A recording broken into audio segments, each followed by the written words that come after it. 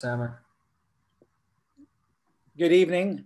Um, my name is Samer Hassan, and on behalf of Dr. Ranjan Gupta, we are uh, co-chair and chair of the Education Committee, re respectively. We welcome you to tonight's uh, session, uh, building your team and setting up your um, and setting up your practice. This is part of an eight series, um, uh, uh, eight session series uh, on practice management. That's part of the ASES Virtual Fellows Core Curriculum. And I'd like to pass the torch to Dr. Bill Levine, uh, immediate past president of the American Shoulder and Elbow Surgeons. Great. Thanks very much, Samer. Thanks, Ranjan and, and ASES for doing this. Um, uh, tonight's session is um, supported by DePuy Synthes. And so we have a quick video to show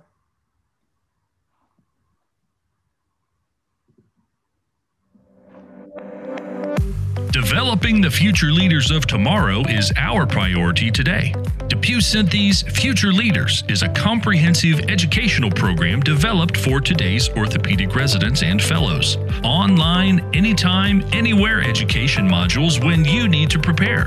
From wound closure to complex revision surgeries, we have you covered.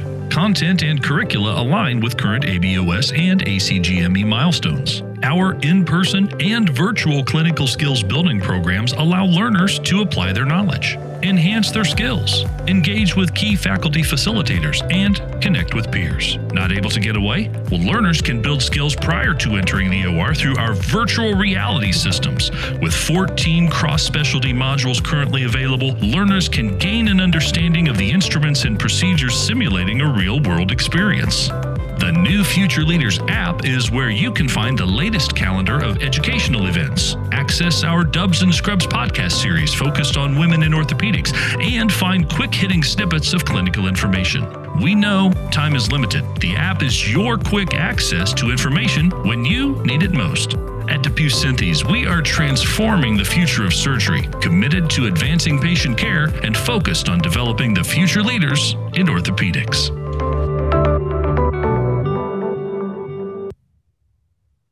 So uh, thanks very much, uh, DePuy Synthes, for helping.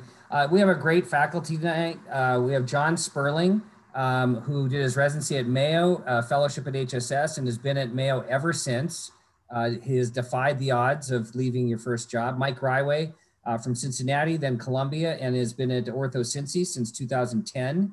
And Mike Knutson graduated from Minnesota, did his fellowship at Columbia, and then he went back to Minnesota, is also in his first job. So we thought we would pick three faculty members from three different generations so we could get their perspective. This is our agenda. We're going to talk about before you sign the contract, the uh, office management, your keys to your success, OR keys to your success, research keys to your success, and if you could do it all over again, what might you change? So I'm going to stop my share and um, get this up and get this up. And uh, John, welcome. How are you? Thanks for thanks for being here. I know it was a hard day.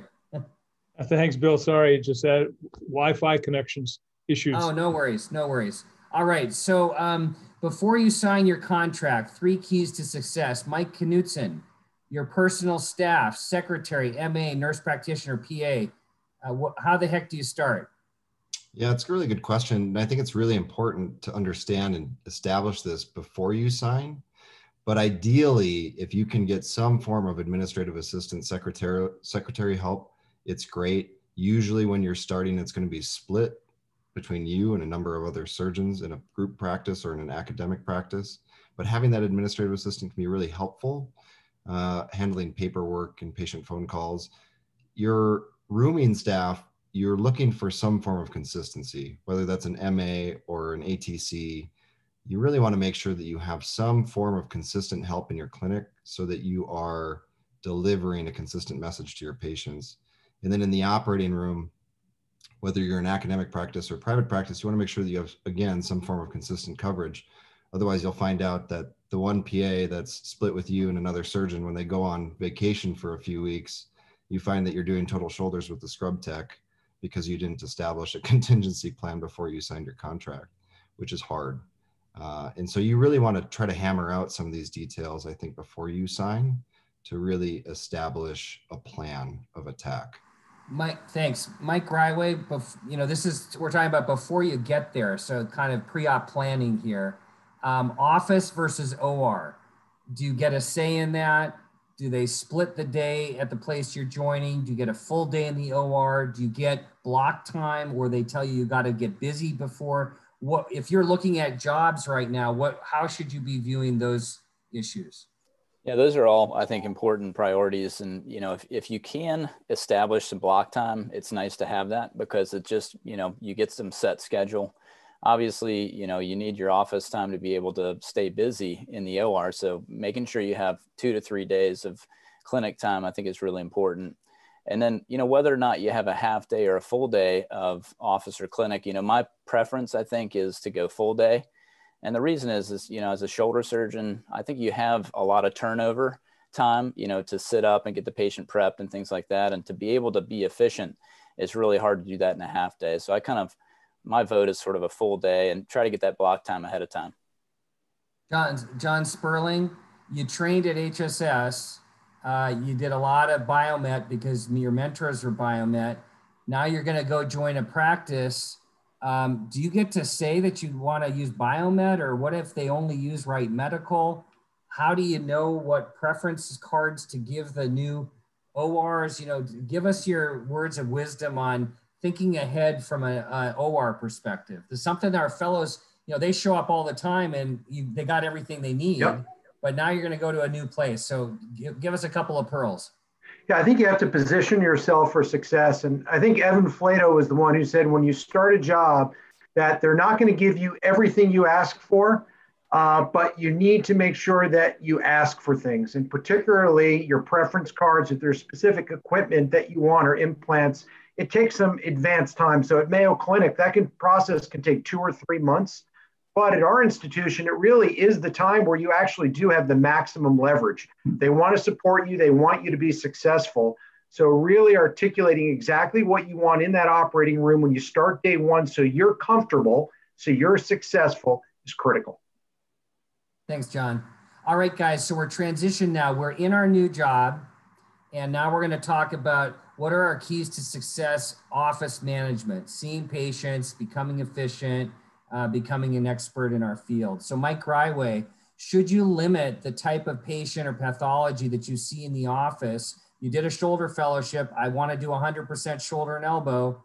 Should I limit that right out of the gate, or how, how do I handle that, Mike? Yeah, it's. I mean, it's definitely tempting, Bill, to do that because you know you did your fellowship. You want to hone into your uh, shoulder elbow, you know, practice right away. But you know, ultimately, what's going to help your practice the most in your community is word of mouth and if you take all comers it, it's there's no better way to build your practice you know and and um, being good to your patients just being a good physician to them helps to spread that word of mouth. And uh, to me I, I wouldn't limit yourself because ultimately right right when you start you're just not going to have a full schedule. So you just try to get as much as you can um, and then you can refer out what you're not comfortable with but take great care of those patients that come in the first time and and um, and that'll really help build your brand inside your community and uh, just a, a follow up to that, Mike Greiwe, how do you handle the difficult case? You want to establish yourself, but you know your first week in practice, it's a seven-time revision reverse that's got instability. Do you take that on by yourself, or do you ask for some help?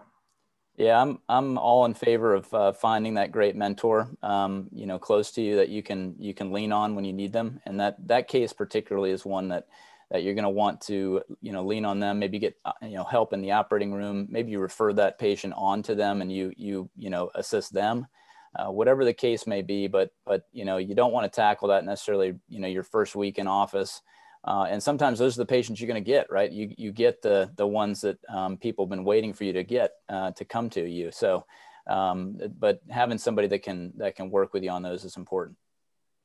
Awesome.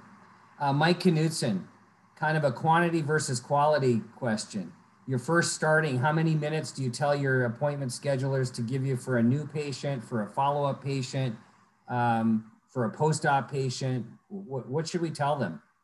Yeah, same thing. You want quality here when you're starting out. And so taking your time will help you build a rapport as a good physician, a good orthopedic surgeon. So I would recommend a minimum of 30 minutes for your new patient visits when you are first starting until you really get in the swing of things. follow-ups and post-ops, probably 15 minutes, just so that you are again establishing a consistent, clear amount of time with your patients, longer if you feel like you need it. Because when you are first starting out, you will be slow. And so using that time effectively early on will really go a long way to building excellent word of mouth um, uh, reputation for you as a surgeon. So now you're getting a little bit more comfortable, Michael. You're you're in practice, let's say a year, year and a half. You've got a PA there or a physician extender that's working with you. When do you start uh, giving up some of that micromanagement? And you say, you know, maybe I can have my uh, extender see my first post-op uh, patient at the two-week point.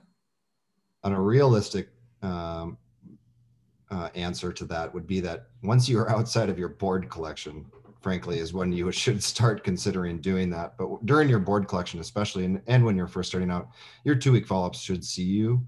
Uh, you can start to spread that out a little bit as you get busier and as you are moving out of your board collection phase. I think then it becomes more appropriate to do that. And you can also task them with doing injections or other smaller management decision things moving on. John, I'm joining Mayo, um, and do I just follow in line, or can I personalize my office uh, in any way? How, how do you handle that? You know, um, just do what we do, or I've got some ideas that maybe might be different. Yeah, Bill, I think it's good to have some ideas on what's different. And I think a key, coming back to a place like Mayo, 1,600 physicians, huge, huge, huge patient population as well. I think articulating a clear message of the patients also that you're interested in and what uh, differentiates perhaps your practice from others is important. Getting that word out and then perhaps setting up your practice to accommodate that. Great. Mike Greiwe, how do I know when I'm ready to hire a physician extender?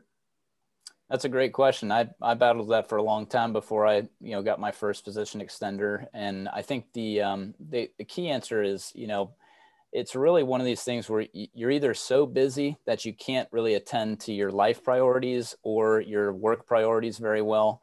Um, but it's, it's something where, you know, you're, you're out of balance somehow. And, um, and typically that's from, you know, the workload or, or whatever the case may be. But physician extenders aren't always right for everybody. And you know you have to decide you know yourself whether that's the right decision for you. Um, but uh, to me it's a, about a balance and the priorities that you have in life and whether or not you're able to keep those um, you know by yourself with your with your own practice. And mike knutson how do you maximize efficiency of using an extender in your practice? Honestly how do you, how do you justify it yeah, honestly, I'm still trying to figure that one out. And so, if my senior colleagues can provide more insight on that, I would love to know. Um, but I am still playing with it and using them in more and more means now that I am outside of my board collection. And, and uh, like I said, I'm using them for injections, I'm using them for some of my follow ups and whatnot. I, I can tell you that a lot of my faculty, you know, I've, I've hired a lot of faculty, and it's a little bit of the Me Too phenomenon. Somebody sees someone with a nurse practitioner and they say, Hey, I want one of those except that if they have to pay for the P, the bottom line for that nurse practitioner, they often get a little less enthusiastic. So a lot of this is going to be based on the finances, of course, no question about that. John, does it matter whether you have an MA, a PA, an RN, an NP, an ATC? How, how should a young uh, faculty or young uh, uh, surgeon coming out of fellowship even decide uh, which type they should think about? That's a great question, Bill. I think leaning on some of your partners, found out what's been successful for them, what may be helpful in a peds ortho practice may be different than a sports oriented or a shoulder and elbow practice. But I think the relationship with the person you hire in that role is absolutely critical. I've been fortunate here 21 years. I've had two PAs, one retired, and now I'm with uh, Bernie Morrey's former PA. So if you hire someone who has huge experience coming into it with you and has 20 years experience and you're starting out and they know all the relationships, they know the referring physicians, that can be an enormous advantage for you starting out. Great advice. Mike Greiwe, I know this has never happened to you, but let's just say you happen to be an hour and a half behind in office hours. How do you manage the stress? And give us some practical tips on what you do. Yeah, it's a great question. You know, um, they don't teach you stress management in medical school. You know, and um, and I think that that was one of the first shocks was getting to practice and you're getting busier, and then all of a sudden you're running like an hour behind, and, and what do you do? And Um, you know, I, I think there's a couple things that I uh, I do. Um, number one, I definitely I'll go out sometimes even personally. Like if I'm really far behind, I'll go out personally and tell the patients in the waiting room in my area of the pod, look, I'm sorry, I'm running behind. Here's the reason why, and you know, uh, hopefully there's a valid excuse for me to be late, and just tell them I'm you know I'm sorry, but we'll definitely get to you. And uh, you know, to me, when patients hear from you, that really makes a difference. Now, sometimes you just can't and you have your MA go out or a manager go out and talk to the patients, but definitely communicate. I think that's key. Um, and then, you know, secondly, you got to just take it one patient at a time. And I would say this, you know, remember that patients will definitely forgive you for running late, but they'll never forget the time that you blew them off because you're running late and um, and you tried to rush them through the office visit. So try your very best to just sort of stay cool, calm, and collected, and uh, you'll you know you'll get through it. It's just one patient at a time, but yeah, those are my practical tips there. That's that's a tough one. Thanks, Mike. Mike Knutson, um, you're starting out in practice. You know, your first year, and unfortunately, your first complication shows up in the office.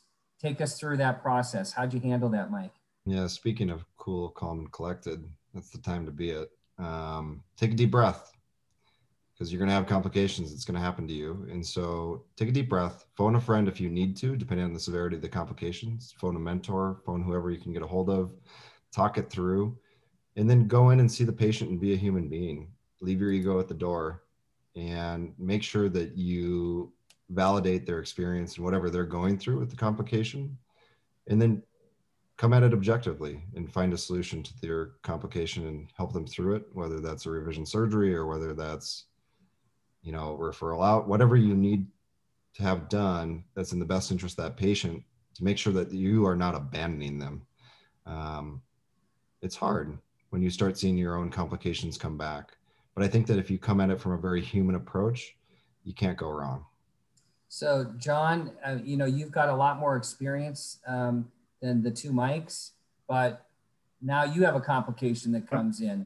How do you, has it changed over the years? Uh, does, do you still get that pit in your stomach? Uh, how do you handle it, John? Yeah, I think Mike said it really well. You know, I think the main thing I try to communicate is to the patient that I made a commitment to them. I'll do whatever I can to help them and that we'll get through this together. And I tell them, I say, look, I'm booked out months at a time. I'm going to add you on. We're going to get this thing done. I'll do whatever I have to do to get through this together. And then the other thing I try to do is I try to reach out to them then. So let's say I did the revision, and then the next week, I'll make sure I call them personally myself and say, look, I want to check on you. I was thinking of you. I want to make sure you're doing okay with this. Please let me know if you have any problems. And I think Mike said it very well. I think just ensuring that they know that you care and that you're committing to them is, is really critical. Bill, I'd love to hear from you. I know you're moderating, but I got, got to get you involved in this. Love to hear your perspective as well. Yeah, I think you guys are nailing it. I mean, you know, it's the personal touch. Uh, I was going to say to Mike Greiwe, if you send your MA out to tell them that you're running an hour and a half behind, make sure they have body armor. Um, because, because there's, isn't it amazing how patients treat uh, our staff so much differently than they'll treat the doctors? Uh, it's kind of embarrassing sometimes how, how rude they might be uh, and then be very nice to you.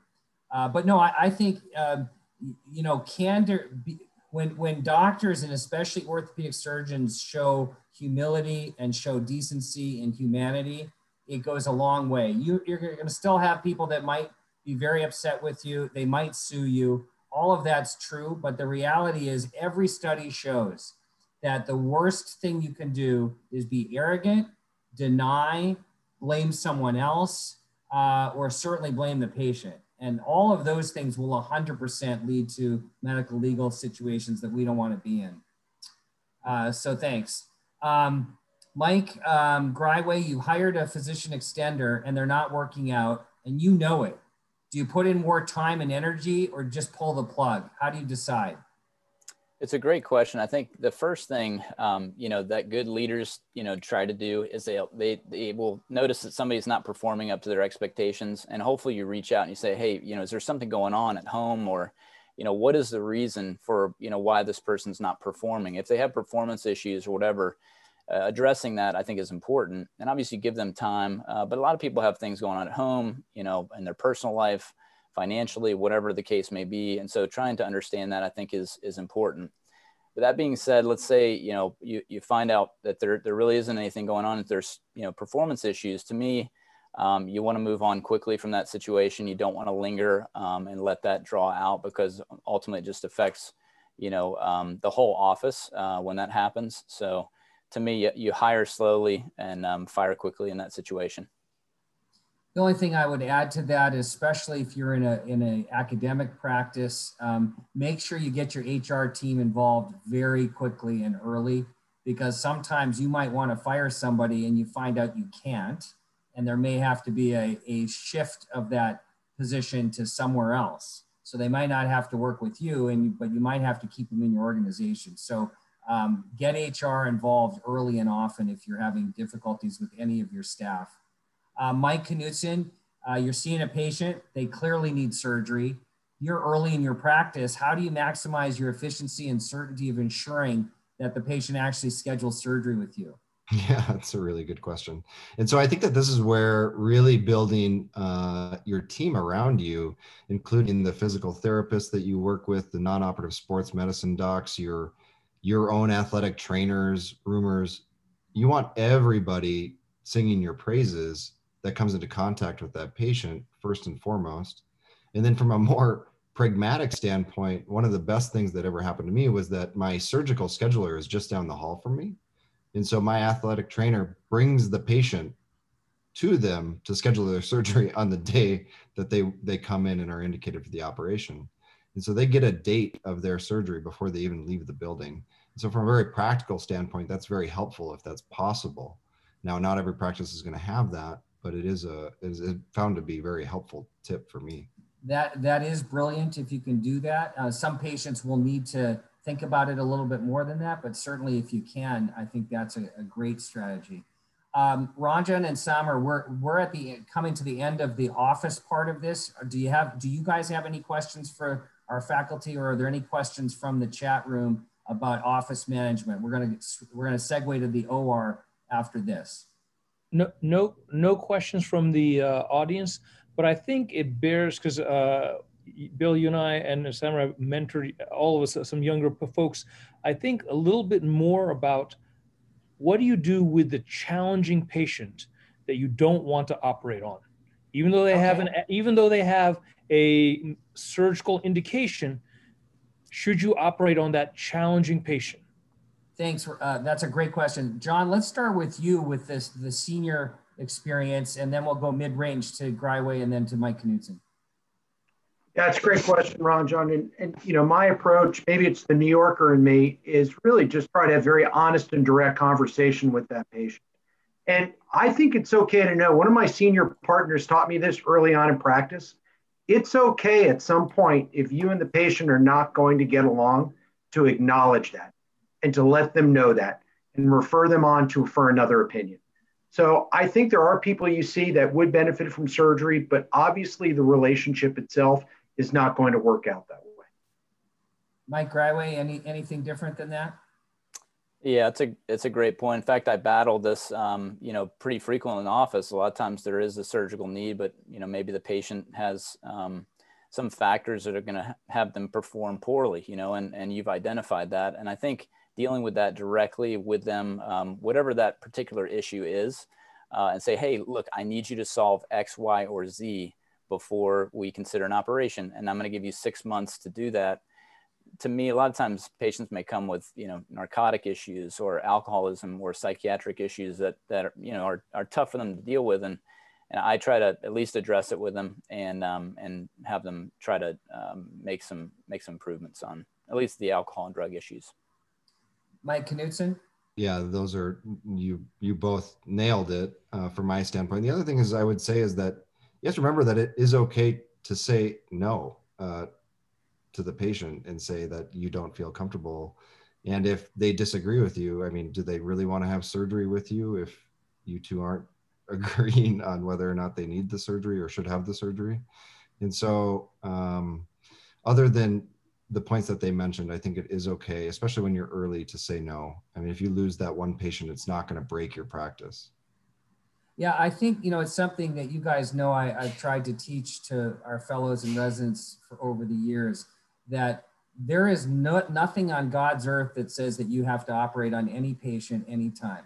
I mean, if it's if it's a life or death situation, obviously, but short of that, if there's an elective problem in your office and you're not comfortable for whatever reason, uh, then you can certainly give them names of other orthopedic surgeons. Uh, you can uh, help refer them. You can do a lot of things, but nobody's going to put a gun to your head and say you have to operate on a patient. I think that's important because we all feel the pressure to get busy, to get work RVUs because of productivity uh, bonuses, etc. But don't be afraid to just say no. I think that's a great, great advice, Mike. All right, we're going to transition to the OR keys to success. John Sperling, how do I create a team in the OR? Same scrub nurse, same core group. Can I do that if they haven't had that type of system in my hospital historically? Um, really key points of, of building a surg- surgical practice and your surgical confidence. Take us through that, John. Yeah, that it's essential. And I think that can even start before you take the job. Obviously, if you're going back to where you trained at some point, that's the groundwork you want to lay before you get back there to have perhaps the people positioned well for you. I think even understanding uh, the operating room day you're on at Mayo, we alternate days. Who's the staff that's going to be on that day? Who are the other partners you're going to have around? But at the end of the day, as your practice matures, there's no doubt that it plays a huge part, not only the efficiency of the operating room, but the enjoyment of going to work every day. Mike Greiwe, I'm just starting out. I'm nervous about asking for help. Second surgeon scrub. How do I navigate that?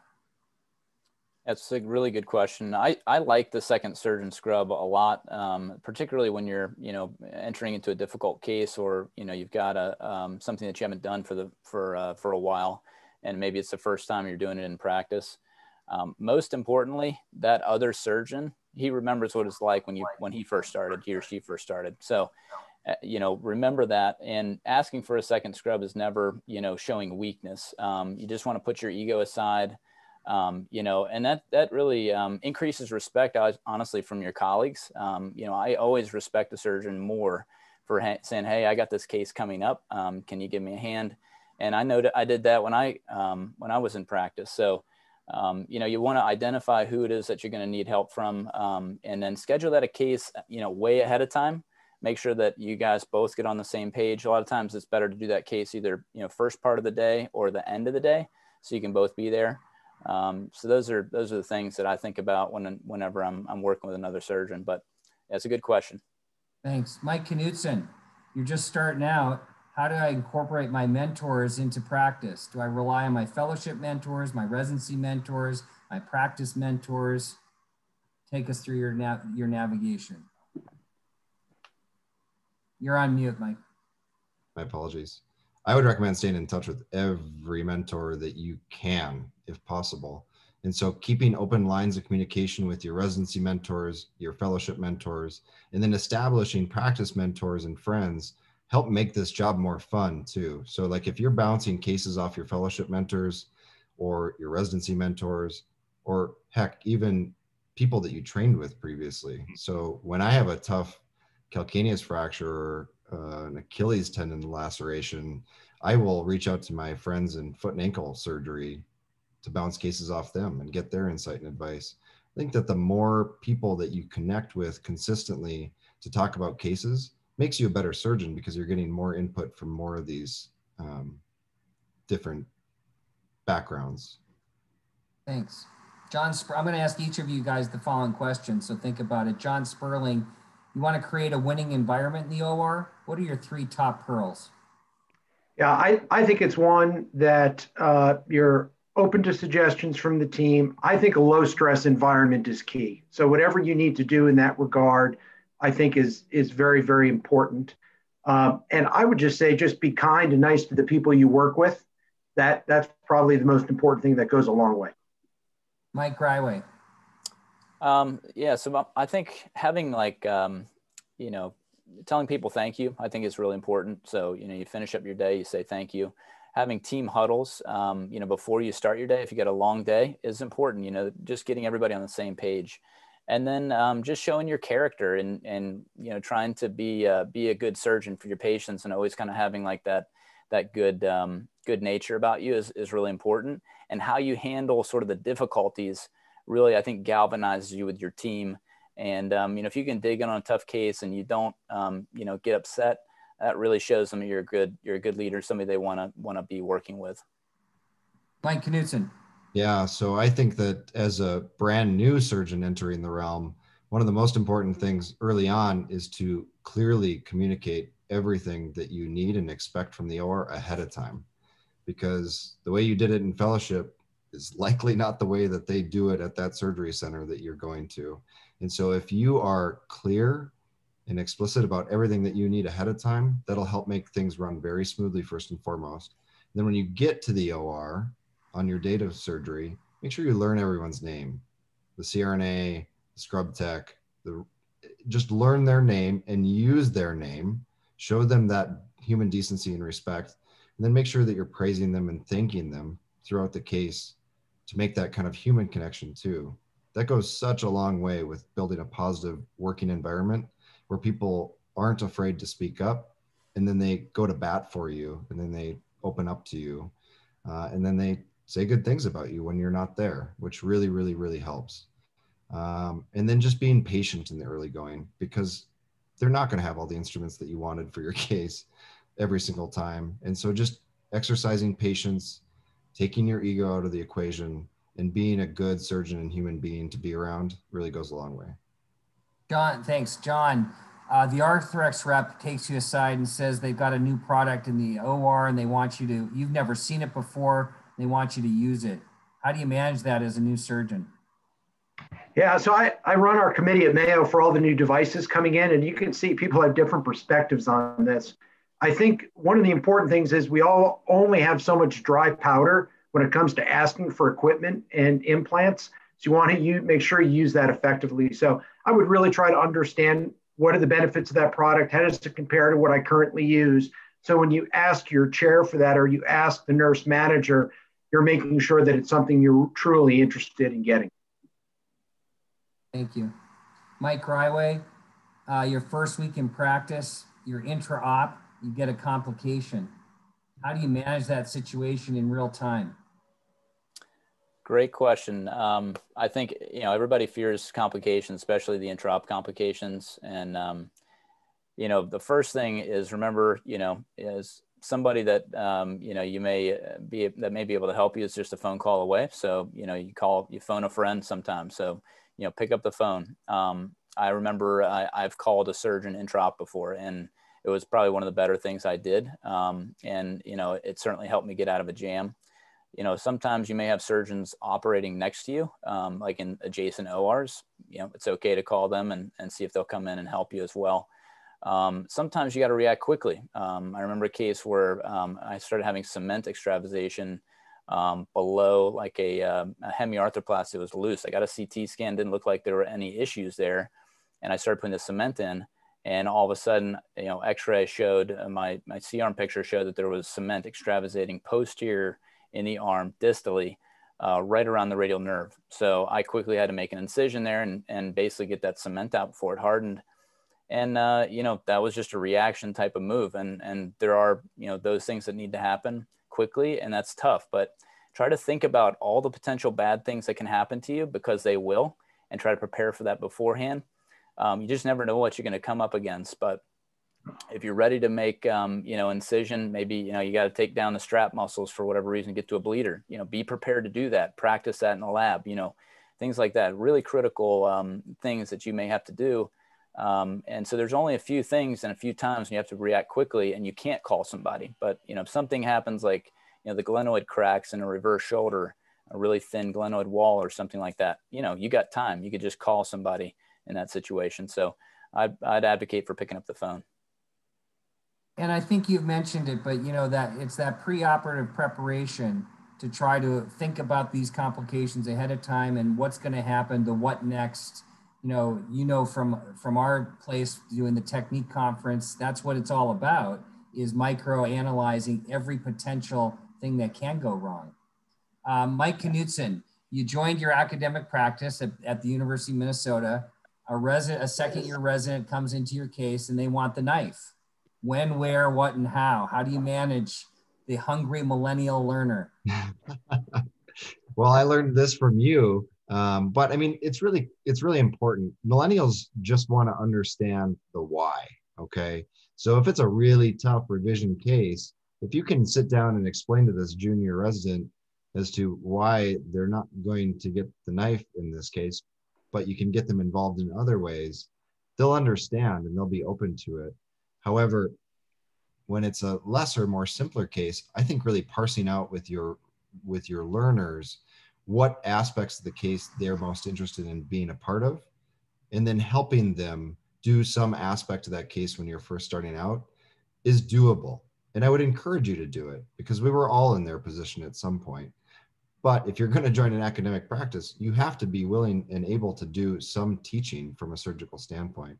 And so you just have to decide how you're going to do it. And I think through thorough expectation setting, uh, you can do that in a way where everybody leaves the OR happy and the case didn't take 14 hours.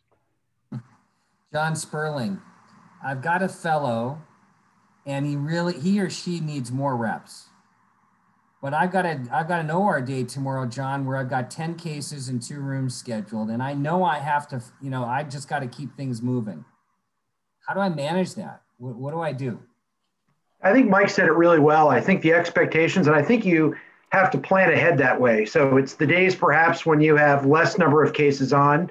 You, those are the days to really ensure to have the patience to take them through the cases, through the different steps. So when you get to the day that you have a huge number of cases on, they've built up that efficiency and they can do a part of it, but they don't slow you down as much. So you have to plan ahead based on the individual days and build up to that. Great. Mike Greiwe, kind of a practical question about the OR, about op notes. Um, do you make templates? Do you dictate after each case? Do you dictate at the end of the day? Um, do you avoid boilerplate templates? What are your hospital requirements? Take us through that topic. Yeah, so it's it's a mixed bag for me a little bit there, um, Bill. So for for me, um, I do uh, dictate for sort of the infrequent cases, um, uh, but you know there's several cases like reverse shoulder, total shoulder replacement, and rotator cuff that I have templates for. But the key really here is is you know it, it shouldn't just be a template and and everything's you know cut and dry and, and done. You know, um, I have an operative findings section where I actually you know type in the specific findings. And look, if you do research, you just can't you can't have boilerplate templates. You got to have specifics to each case, and you got to make sure that you you follow everything very closely. Um, for instance, for my total shoulder template, I make sure I put whether I did a peel, I do an osteotomy, um, you know, rotator cuff, I dictate the, the number of anchors, the type of anchors, and and the type of repair, and things of that nature. So I, I think it's a mixed bag. You know, my hospital requires us to have everything done within a week after surgery, but I try to do it really just like you know, um, you know, right after the case uh, when it's a dictation. Otherwise, you can you can forget some of the details. John Sperling, do you ever dictate not after every case? I really try also. I agree with Mike. I think that's a good point, particularly as you start to do more and more complex revisions and it's fresh in your mind. So having that detail in there will really help you when you need to interpret that post-operative x-ray and if something doesn't look quite right. So that detail and information is really, really helpful. I'll tell you from, uh, you know, if you don't dictate after the case, and especially if you're doing multiple cases in the day, uh, it is really rough. It's a it's a bad day, and I see this as a chair when faculty don't do dictations and then they go back and try to do them retro. It's it's not good. It's not yep. pretty. And from a medical legal standpoint, it's really rough. So best advice is do it right away. Uh, Ranjan and Samer, we're about to switch topics to research. Any questions that you would either uh, that you guys would like us to cover uh, for the OR? Well, Dr. Levine, anything else that you might uh, wish to discuss amongst your panel regarding boards collection, which is right around the corner? You've touched upon it during so far. Anything else? Any pearls? Okay, so Mike Greiwe, board collection. Did you change your practice the day after your board collections was over, or did you try to be a the same surgeon throughout the first 18 months and then thereafter? There was one thing I changed. It was uh, reverse for fracture. So I didn't do any reverse for fracture. And of course, this is like, you know, eight, nine years ago. Um, I did no reverse for fracture, you know, during my board collection period. As soon as um, that switched over, I did reverse for fracture. Uh, so, and I, I wasn't sure how the, the board would feel about that at that point in time. I think we're, we're well beyond that now. So, um, but I think that was, that was it. I also was, um, one thing I did do during board collection that I don't do now, and maybe I should, is uh, I sent certified letters and things like that um, when someone was sort of lost a follow up. I've let that go at this point, um, you know, but uh, maybe, maybe it's something I should be doing, but but I haven't done that. And Mike Knutson? Yeah, I really tried not to. So I tried to stick with my principles and stick by my guns right from the day that I started practice. And I tried to continue that through board collection. And I've tried to continue that through and beyond. I maybe get a little bit less tight on some of my indications after board collection is finished, meaning I don't require them to complete a full three months of physical therapy if they're really struggling. I don't make them go through an injection if, if they're very clearly arthritic and super painful, et cetera. But at the same time, I, I've really tried to stick by my guns um, before and after board collection. I think that makes you a better surgeon if you are acting like you're under the gun the whole time. Um, and it really tightens up your indications. Great. All right, we're going to switch to research. Keys to success. Mike Knutson, we don't have a database where I'm joining. How the hell do I collect data? How do I become a, a you know, I want to help to contribute to, you know, uh, answering the questions that John Sperling asks, answers all the time. Absolutely. Well, I mean, if you're joining an academic practice and they don't have a database, I would strongly advocate that you start that process as soon as you arrive, uh, or if not before. You want to start building the momentum and the energy to go towards getting the database eventually. But that is a lot of work and it takes a lot of moving parts to get there. So, in the meantime, you need to work with your director of clinical informatics in order to find out what uh, tools that you can use in your office setting that you can actually have printed out. So whether it's the ASES score for the shoulder or for the elbow, Quick Dash for the elbow, SST for the shoulder, you got to figure out what you have access to and what licensing you need for those different survey tools so that you can actually print those out and have your patients fill them out so that they can be scanned into the medical record. Um, and that takes some work also. But getting that consistent across your different sites will be a challenge. And I really encourage you when you have more time early in your practice to start that machine working that direction sooner rather than later. John Sperling, we've got the world's best database. How do I choose impactful research? And one thing, one little trick I've learned over the years, Bill, that I think was helpful when I first started out was actually talking to some of my hip and knee colleagues, trying to find out, you know, what are the burning questions that they're asking. And it was amazing and interesting how many things that they had actually solved or looked at that we had not yet looked at in the shoulder. So I think I'd encourage folks starting out, find out what are the hot topics that other specialties are looking at. And you may find really good opportunities to explore things that other people haven't done. That's awesome. Great advice. Mike Greiwe, I'm in private practice, but I want to contribute to research. I want to, you know, continue advancing in ASES? how do I do that if I, I don't have an academic machine around me? Yeah, that can be hard. Um, you know, private practice is is definitely different than the academic setting. But the first thing you need to start with is uh, sort of that infrastructure that we were talking about, the database. Um, make sure that you're collecting data. Um, you've got to set that up, and whether you are, you know, hiring a company to do that, um, you know, there's multiple companies that you can do, uh, or just getting the, you know, ASES scores, the quick dashes, uh, the simple shoulder test, uh, VAS pain, just making sure you have that so that when you do, you know, start the research, you can go back to that data. Uh, that's critical. Um, number two is is staffing. You know, it's it's hard to do by yourself if you're in clinical. You know, if you're in clinical practice and you're super busy, um, but sometimes you may be able to have a, a research nurse from the hospital uh, to be able to work with you. Um, and then finally, um, funding. How do you fund research uh, in private practice? That's really difficult too. Um, your hospital may be able to help you. Uh, your own group. Um, there's a lot of different unique models that are out there in private practice, um, from you know a taxed model to um, ancillary income feeding research, and and even grants. So so you know there's a lot to talk about there. You probably have a separate lecture on that in academics and and private practice and how you do it. But uh, for me, those are the three keys. Thanks. Okay, I'm going to ask you all three this so you can think about this question. I'll start with Mike Knutson. We're going to go from fresh to mid to senior. Uh, I'm new to practice, Mike. How the hell do I manage office, OR, research, and family? Yeah, that's a great question. And I think it's really important to understand that you have to just be very intentional with your time and how you allocate it. Because when you're starting out in practice, your clinical volume will be slow. So you really want to take the time to form those connections with your patients, with all of the other providers in your in your team and your network, with your physical therapists. Um, you really want to build that clinical machine. You want to start to build your research machine. You really want to start to build your OR volume. And you want to make sure that you're taking really good care of patients, but then you want to make sure that you're setting intentional time away for personal life, family, and taking good care of yourself. Don't forget. You want to make sure that you are getting exercise and you are pursuing hobbies also. You just have to be intentional and allocate your time appropriately and making sure that you have clear boundaries within your own life. So mike you're now in practice five to ten years and you keep having another kid every two years. Uh, not that i know that from experience.